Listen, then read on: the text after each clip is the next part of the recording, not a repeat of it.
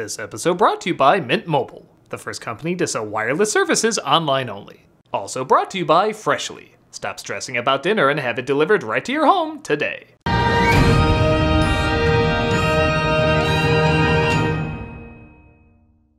Ladies and gentlemen, behold the outcast, the creepy and depraved, the bizarre creations not meant for the normal world.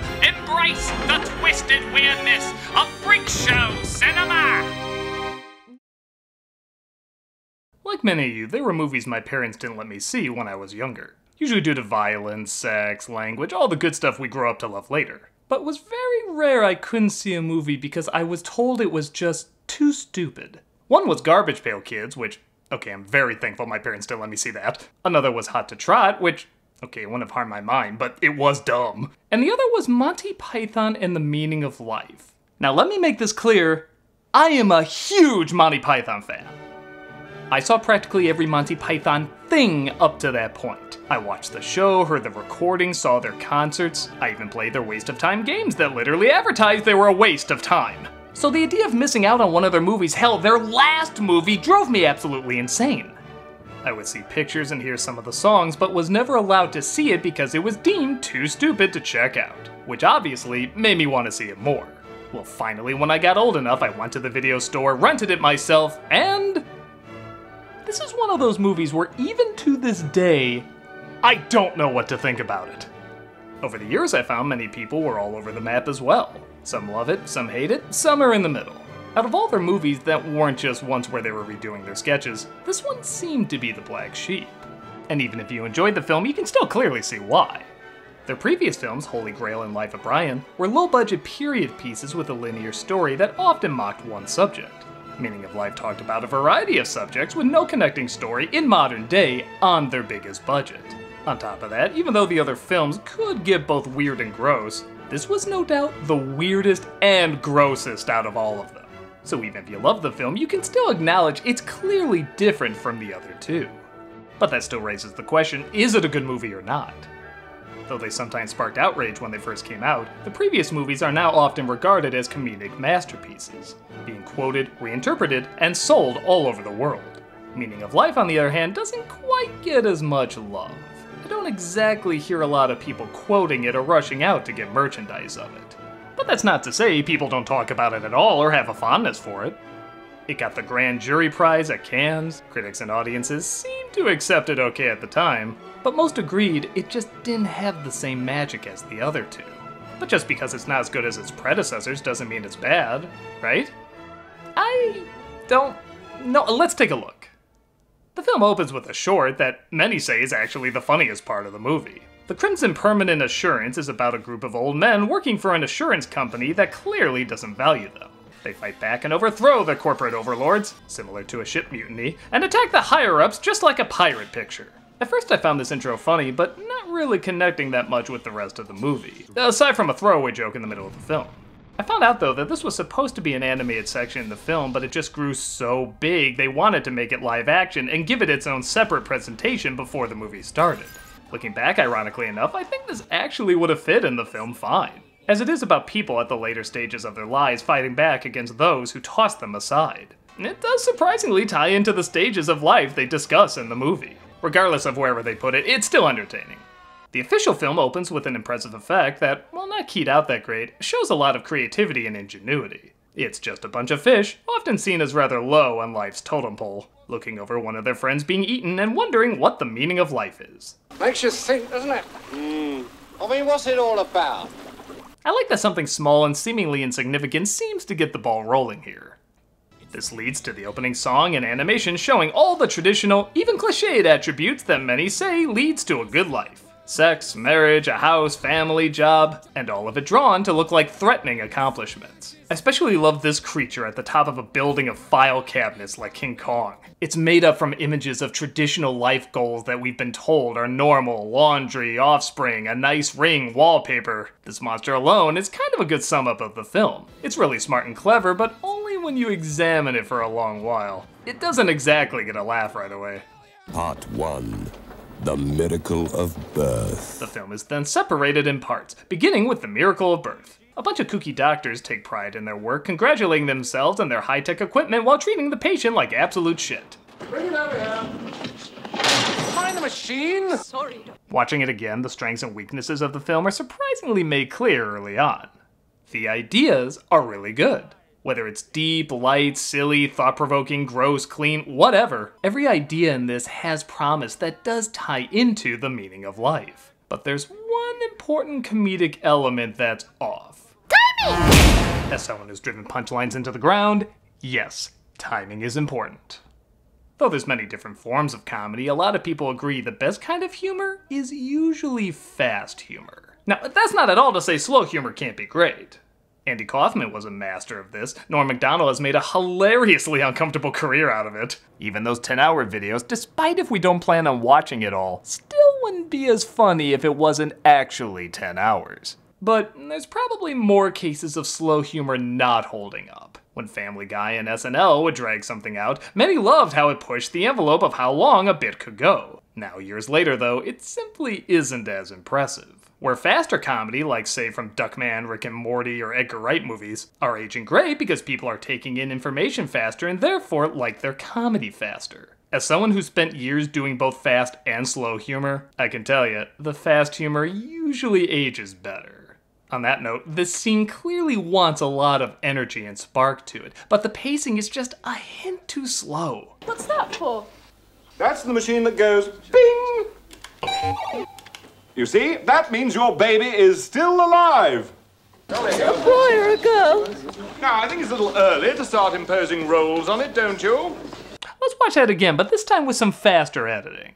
What's that for? That's the machine that goes bing. You see, that means your baby is still alive. A Boy or a I girl? I think it's a little early to start imposing roles on it, don't you? See how it comes to life a little bit more? If this scene was meant to be slower, it could work, but I really think it was trying to get across this fast paced energy that wasn't quite there. But not every bit is supposed to work like that. In one of the film's most famous sequences, a family has to sell off their children to medical experiments because they don't believe in birth control. God has blessed us so much, I can't afford to feed you anymore. This leads to a big musical number, most likely satirizing song sequences like Oliver.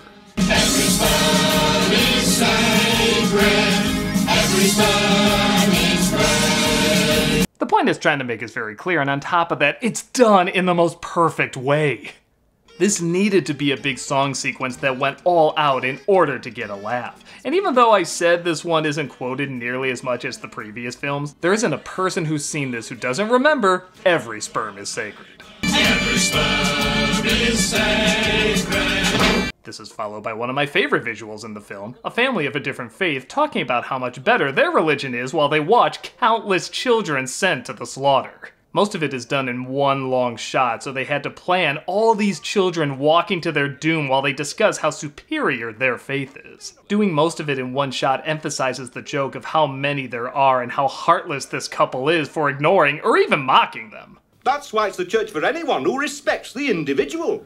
Continuing their satire of both religion and childhood, we cut to a religious school where they spend most of their time being literal God fearing followers, praising his word not because they believe in it, but because they don't want to get smoted by him. Oh Lord, please don't burn us, don't kill or toast your flock. It's followed by another great idea that, in my opinion, could have been trimmed down quite a bit. It's a satire of, I think, sex education in school, where the teacher goes into great detail to the point where he makes love to his wife after transforming the chalkboard into a bed.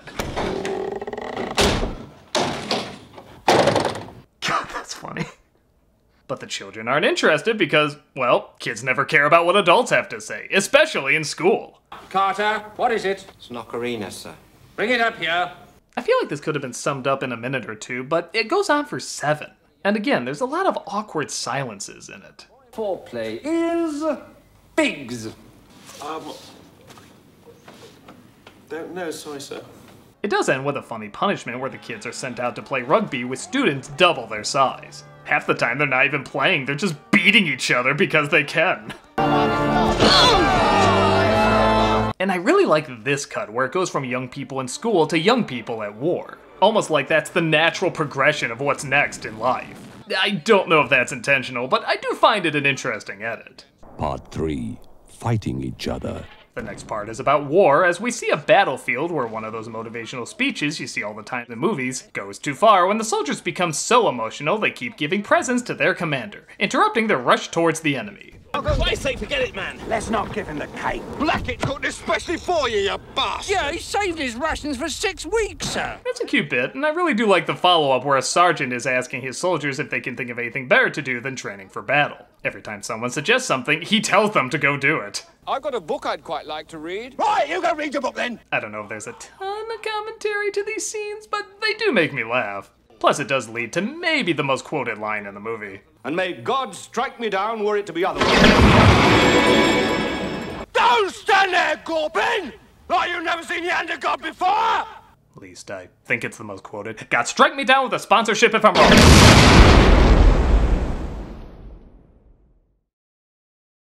My God, Houston, it's amazing. What? What do you see? Something as phenomenal as Mint Mobile. That doesn't help me. After years of fine print contracts and getting ripped off by big wireless providers, if we've learned anything, it's that there's always a catch. Still not helping. So when I heard that Mint Mobile offers premium wireless service starting at just 15 bucks a month, I thought, what's the catch? Why don't you just tell me what you see? But after speaking with them and using their service, it all made sense. There isn't one. What are you talking about? Mint Mobile's secret sauce is that they're the first company to sell wireless service online only. Secret sauce? What? By cutting out retail stores, there's no crazy overhead cost that gets passed down to you in the form of mystery fees. Instead, Mint just passes on sweet savings direct to you. Just tell me what you see. You spent years training for this. I'm looking at extra savings. What? Mint Mobile offers premium wireless for just 15 bucks a month. All plans come with unlimited talk and text, high-speed data delivered on the nation's largest 5G network. Why do I need to know Use your this? own phone with any Mint Mobile plan and keep your same phone number along with all your existing contacts. And if you're not 100% satisfied, Mint Mobile has you covered with their 7-day money-back guarantee. Well, great for Mint Mobile. Switch to Mint Mobile and get premium wireless service starting at just 15 bucks You a month. You said that like three times. To get your new wireless plan for just 15 bucks a month Four. and get the plan shipped to your door for free, go to mintmobile.com slash nostalgia. That's mintmobile.com slash nostalgia. Cut your wireless bill to 15 bucks a month at mintmobile.com slash nostalgia. Oh wow, Jerry, you won't believe What? it. Do you see something different? Totally different. Well, tell me about it's it. like feeling stressed, tired, and just not feeling like cooking. What are you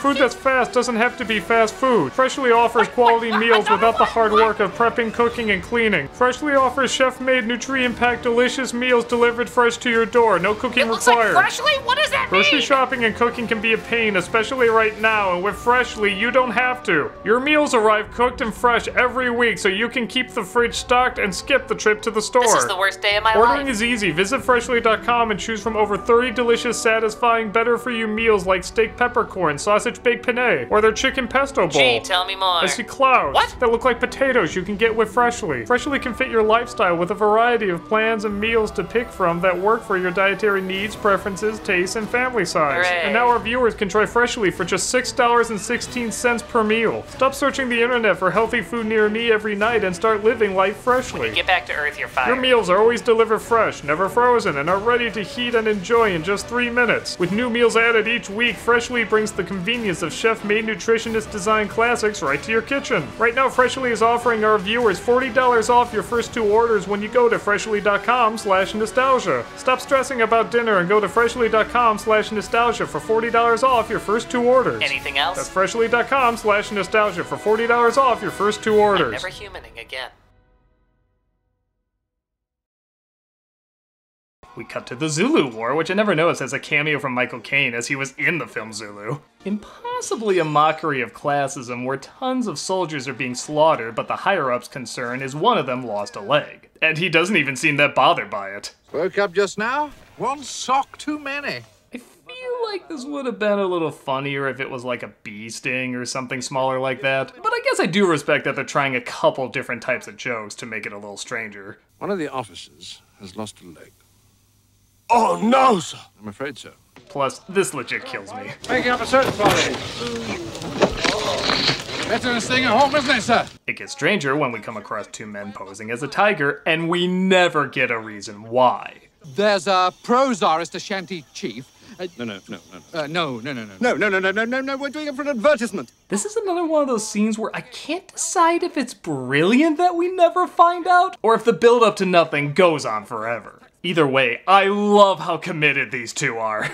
playing it like if anyone found out the real reason, it would be the absolute worst thing that could happen, making the mystery even more fascinating. He had an auntie who did it in 1839, and this is the 50th anniversary. No, we're doing it for a bet. God told us to do it. To tell the truth, we are completely oh. mad. We then cut to the middle of the film. Yes, that is actually how they refer to it. Hello and welcome to the middle of the film. Where they ask you to play a game called Find the Fish. This is the strangest part of the movie. You looked after it like a son. And it went wherever I it go. Wouldn't you like to know? Strangest interpretation of Finding Nemo ever. First off, I'm pretty sure there's no fish to find. Second, this is just surreal for the sake of being surreal. It's like those segues in Flying Circus that don't always make sense, but they create a fun and strange environment. I guess this does the same thing, but I know this is gonna sound hypocritical. I think it's a little too short. It's only a minute long, and if you're gonna go full strange, dive all the way into it. Give us a pink elephants, an heffalumps and woozles, a Beavis and Butthead Do America music video. This is just a room with some strange stuff, and then it's gone. It's not quick enough to get a laugh like the X Men cameo in Deadpool 2, but it's also not long enough to feel like we went through a surreal experience. It just kind of comes and goes. But I guess I do remember it, and what I remember was certainly strange. Which is probably more that I can say for this next chunk.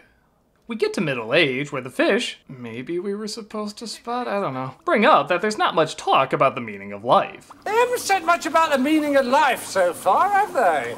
This leads to again maybe a few too many jokes on top of each other where a couple are at a theme resort where the theme happens to be a dungeon. But they act like it's a Hawaiian luau. They want to be so accommodating, they not only give them menus, but also conversations to talk about, including the meaning of life. You ever wanted to know what it's all about? Nope. Righty ho. The conversations go nowhere, and ultimately so does the sketch. Again, though, if you really pick it apart, there are some funny things. First off, their American accents just crack me the fuck up. Would you care for something to talk about? Oh, that would be wonderful. Our special tonight is minorities. Oh, that sounds real interesting. I think an American hearing this is similar to a Brit hearing Dick Van Dyke and Mary Poppins for the first time. It's kind of amazing. But second, there is something to be said that both something and nothing is being said. Yeah, that made a lot of sense. What I mean is, they're not talking about the meaning of life in a way that's straightforward, but a lot of the conversations and ideas do seem centered around it. Just in a very silly and satirical way. The next part, for example, is two people taking a man's liver because his card said he's an organ donor. Nobody seems to mind, apart from the man using his liver at the moment. And when his wife is asked if she wants to give up hers, it suddenly jumps to this song sequence about how vast the universe is. The universe itself keeps on expanding and expanding. This really is a charming and even poignant song about how insignificant we really are. But it's for something as silly as letting people steal your liver. The whole movie seems in battle with itself for having great meaning and no meaning at the same time. I suppose that could be the idea, as everyone would look at a film about life and see something different the same way people can look at life itself and see something different. Which is the perfect segue to the sketch people seem to be the most divided about the Mr. Creosote sketch. How are we today? Better. Better? Better get a bucket. I'm gonna throw up. People either hate or laugh their asses off at this section, and honestly, I understand both. It's just a huge guy who walks into a fancy restaurant and pukes on everyone. That's it. It's too simple to say, oh, it's just gross out humor, so it's petty and beneath us, as, first of all, some of the great comedy of the time has incorporated gross out humor. And second, I think the intro sets it up well. This piano player sings a song about his dick. Isn't it awfully nice to have a penis? Isn't it frightfully good to have a dong? But because it's an upscale restaurant, everybody sees it as daring and risque. Oh, what a frightfully witty song. If you keep that mindset, this routine is actually pretty clever. As because this guy has money and clearly comes to the restaurant a lot, they'll just let him do whatever he wants, and nobody complains. Uh, Gaston, a bucket for monsieur.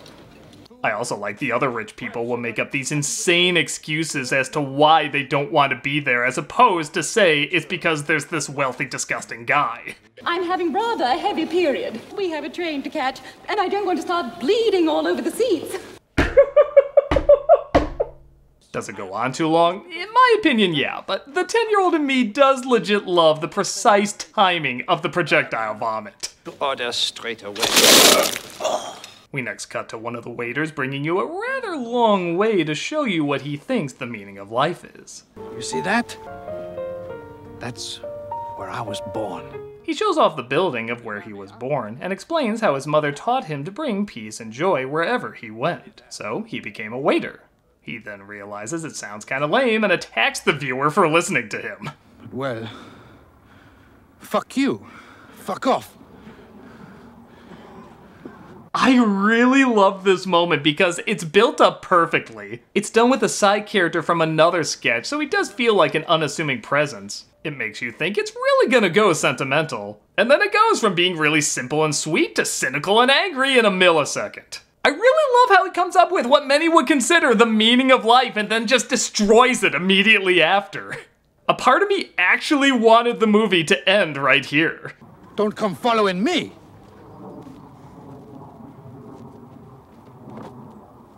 Just remember that you're standing on a planet that's evolving. Instead, we get the last portion of the film, Death. This is a collection of sketches that are fine. One is a guy who gets to choose how he dies, so he picks being chased by naked women jumping off a cliff. The next is an animation of leaves committing suicide as they change color and fall to the ground. The final is the Grim Reaper trying to take a group of people to the afterlife, but they can't stop yammering long enough to let him explain. Be quiet. Can I just say this at this time, please? Silence! They're paced fairly well and get some laughs. They just feel like something more out of a TV show than an actual movie. They work well enough, though. If for any other reason, just hearing Death say balls is pretty funny. None of you have got any balls. They take the ghosts of their cars to drive to heaven, again, a really great visual, and find all the characters in the movie listening to Graham Chapman's best Jeff Goldblum impression. And I'd like to sing a song for all of you. Sorry, American impressions really are the funniest thing to me. They sing a lovably tacky song called Christmas in Heaven, and we're finally given the incredibly underwhelming meaning of life. Well, it's nothing very special. Uh, try and be nice to people, avoid eating fat, read a good book every now and then, get some walking in, and try and live together in peace and harmony with people of all creeds and nations. I do really love that the most generic thing you can imagine is the answer. It's not mind blowing at all. The whole film has that vibe that it's both really important and not important in the slightest. Which again, I'm really thinking might be intentional. The final image is a TV playing Monty Python's Flying Circus floating into space as the credits roll. Again, it doesn't really match the endings of the other films, but seeing how this would be their last movie together, there is something sentimental about it. And that is easily the weirdest Monty Python movie ever made. Is it any good? It kinda depends. If you like good ideas that are presented in a trollish type way, I think you'll get your money's worth. If you're looking for something that has a clear focus and rapid fire humor, it's not that. I can't act like this is my favorite of their films, but I will admit every time I see it, it does get me thinking. With the other films, it's very clear what they're trying to get across. It's also very clear when it's supposed to be clever satire, childish silliness, or a combination of both. With this, it's not quite as spelled out, which means some can leave feeling empty and cheated, but others can get a conversation going about what certain moments in the film were trying to say, if anything at all.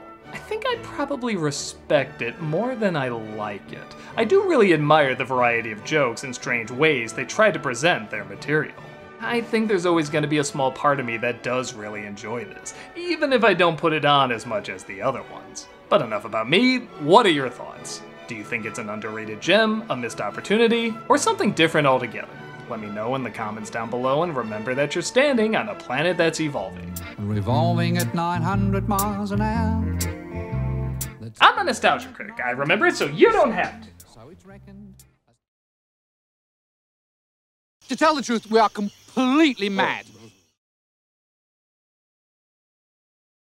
Hey, Doug Walker here doing the charity shout out, and I'm sorry to say I got sick again recently. I, I got better really fast, but it did kind of put things uh, uh, on the back burner and push things back a bit. So I this is the last thing I usually do before I put the video out. So I haven't had a chance to look up another charity. So I'm just doing one again that we've done a couple times, but it, it's a phenomenal charity. You know it. It's uh, the Red Cross. Uh, you can go to their site. You can uh, see if you can donate. It's also a wonderful charity that you can use to uh, volunteer at. I mean, they're always looking for uh, volunteers, donations. It, you've heard of them. You know the amazing stuff that they do. So please definitely check them out. I'm sorry I couldn't introduce a new one this week, uh, but uh, I will definitely get one to you next week. But until then, check out Red Cross if you haven't already. Look at all the amazing things they do on their site. Uh, they're really a phenomenal organization. So check them out, and I'll see you next time.